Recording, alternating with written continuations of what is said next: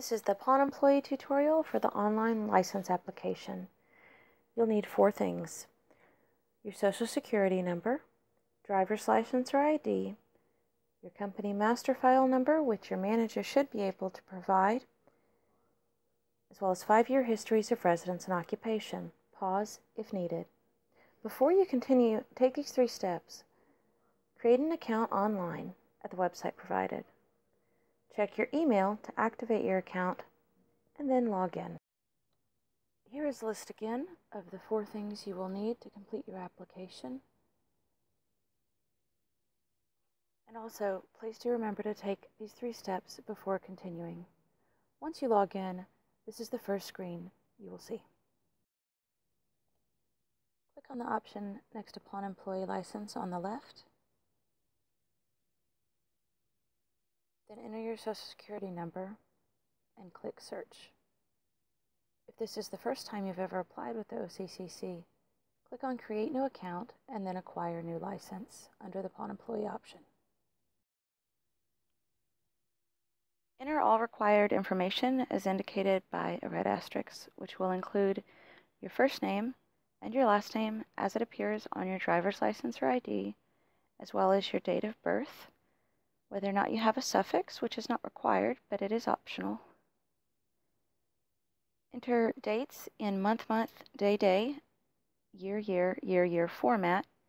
Enter your social security number two times. Select the type of ID that you have, be it driver's license, state ID, visa, or passport, and then enter the ID number found on the ID that you have. For the issuing state, you can double click the letter T on your keyboard to get to Texas, or you have a drop down option. The place of birth is to be your city and state without any commas. The email address is the one that is for you personally, as is the first phone number you'll enter. Enter your citizenship, and you've completed your personally identifying information. The remainder of the information on the page specifically as it relates to your company. Once you've completed it, click Next. This is where you will enter your residential details. You'll need to add new records until you have full five years without any gaps in time.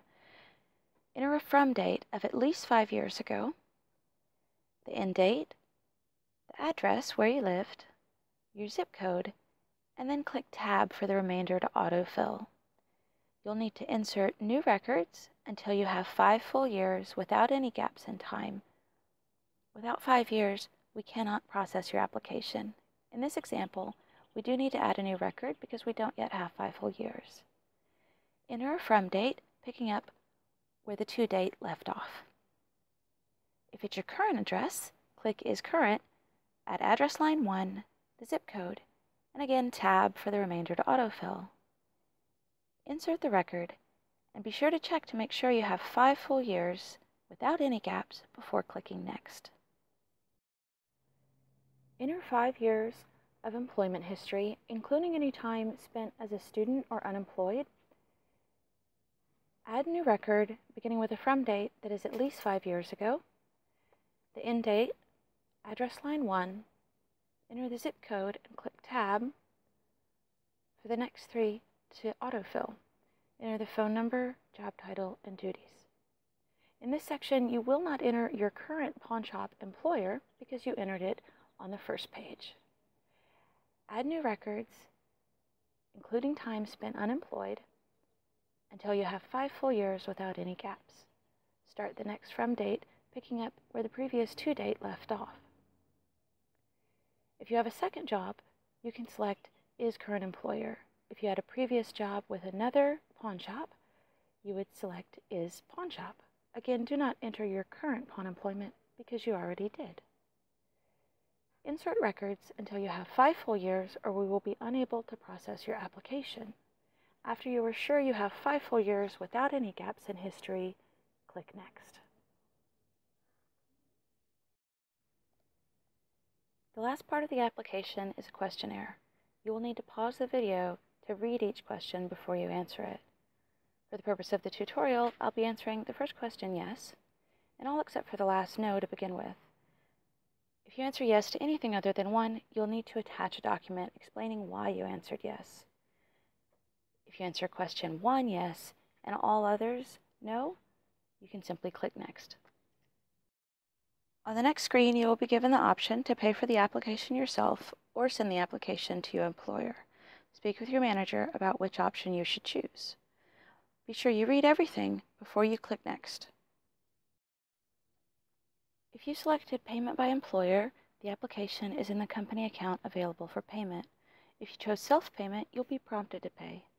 After a payment is made, you'll need to schedule a fingerprint appointment. To schedule an appointment, go to occc.texas.gov,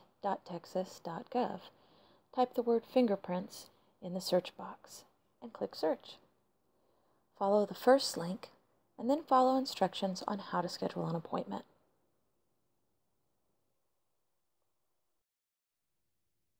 You will be emailed when your application is approved or if more information is needed.